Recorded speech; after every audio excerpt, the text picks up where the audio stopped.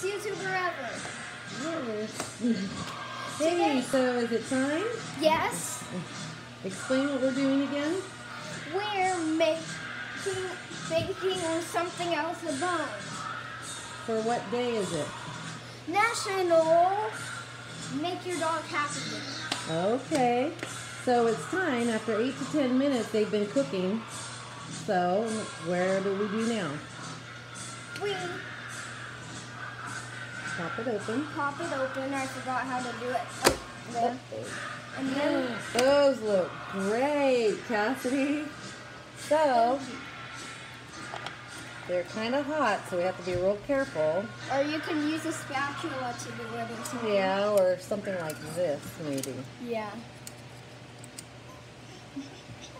Okay, it's not working. explain. Well, I gotta open them up. We're not Beep, ready.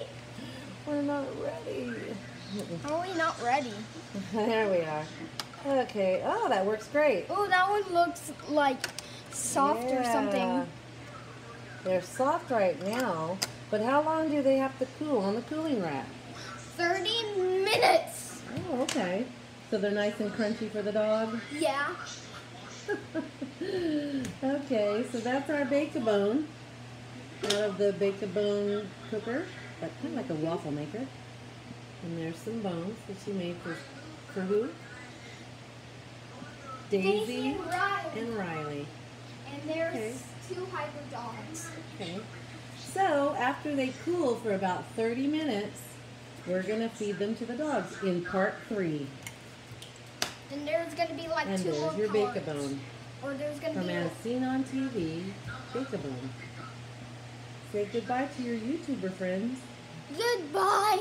And maybe there's gonna be two parts left. Okay. All right. Thank you. Bye. Bye.